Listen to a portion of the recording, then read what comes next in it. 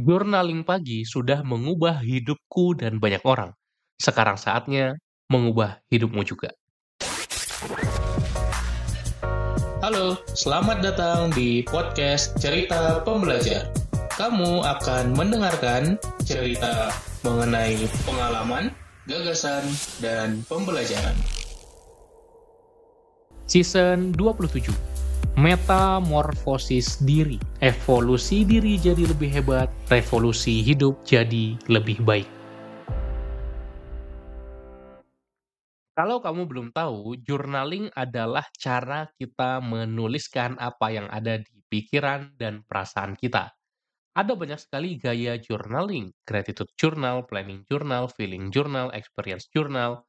Tapi satu hal yang ingin aku share di episode kali ini adalah morning pages atau meluangkan waktu setiap pagi untuk menulis jurnal. Nggak perlu panjang-panjang, cukup satu halaman, dua halaman, atau bahkan kalau waktu kamu singkat hanya seperempat hingga setengah halaman juga nggak apa-apa. Morning pages adalah upaya kita untuk selalu merekam apa yang terjadi dalam hidup kita, apa yang ada dalam pikiran kita, apa yang ada dalam perasaan kita setiap paginya setiap pagi sebelum memulai aktivitas. Artinya kita akan mendapatkan insight ketika kita reka ulang, melihat kembali dari beberapa minggu, bulan, tahun yang lalu, oh ternyata journey-ku seperti ini. Plus, ini akan membuat kita juga jadi lebih mindful, sadar penuh hadir utuh. Karena kita meluangkan waktu untuk ngobrol dengan diri sendiri saat orang-orang masih istirahat, masih persiapan harinya, kita sudah mulai melakukan morning pages. Kita sudah menuliskan dan sudah ngobrol, sudah grounding lagi. Banyak banget manfaatnya. Setidaknya ada empat alasan kenapa morning pages journaling bisa mengubah hidup.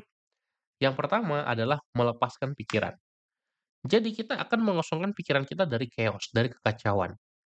Melepaskan pikiran, rilis, di morning pages journaling, artinya kita menulis secara bebas, biasanya di pagi hari, dan akhirnya pikiran kita jadi bersih dari pikiran negatif, kekhawatiran, ide yang nggak terorganisir, stres.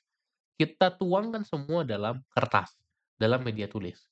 Ya, jadi dalam morning pages aku lebih menyarankan untuk tulis tangan secara fisik di sebuah buku atau jurnal daripada mengetiknya.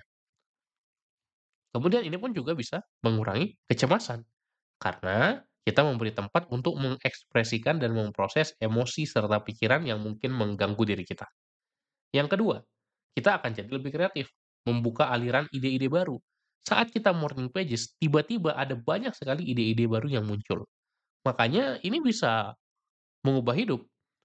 Satu ide yang brilian itu bisa mengubah kesehatan kita, kebugaran kita, hubungan kita dengan orang lain, kesuksesan kita, kita hanya butuh ide-ide yang lebih banyak dan kreatif saja. Dan saat kita melakukan morning pages di pagi hari, aliran ide itu akan terus masuk. Pemikiran kita lebih bebas. Kita merangsang bagian otak kreatif kita dan sering kali menemukan solusi inovatif atau ide-ide baru. Dan kreatif block itu akan terlepas, aliran kreatif akan terus datang ya. Itu seperti membuka aliran energi positif dalam bentuk ide-ide. Yang ketiga, membuat kita lebih self-aware, lebih sadar diri. Dan selaras dengan mindfulness-nya, yaitu hadir penuh sadar utuh. Jadi kita bisa tahu nih, pola kita seperti apa, kebiasaan kita seperti apa, kita bisa mengidentifikasi pola perilaku, pola pikir, perasaan, yang sebelumnya nggak kita sadari.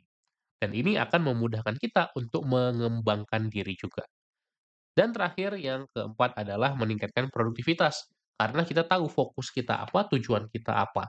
Biasanya morning pages juga bisa dilakukan untuk merencanakan hari. Hari ini aku mau ngapain ya? Kita set intention.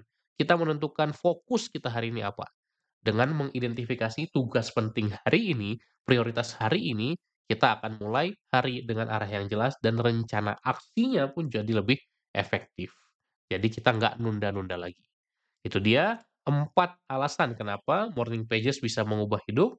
Silahkan kamu cobain, simple, luangkan waktu 5 menit sampai 15 menit di pagi hari untuk menulis morning pages atau journaling singkat sebelum memulai harimu. Sampai jumpa di episode berikutnya. Salam pembelajar.